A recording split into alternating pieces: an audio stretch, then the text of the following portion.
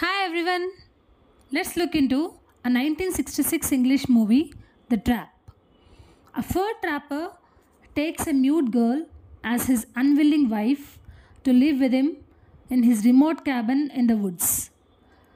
The cast include Rita Tushingham, Oliver Reed, Rex Sevenoaks. Director Sidney Hayes. Writer David D. Osborn. Rita Tushingham does not utter a single word in the entire film. The piece of music used as Oliver Reed canoes downriver is now used by UK broadcaster the BBC for its coverage of the London Marathon. Link of the movie is provided in the description. Hope you all like it. Thank you.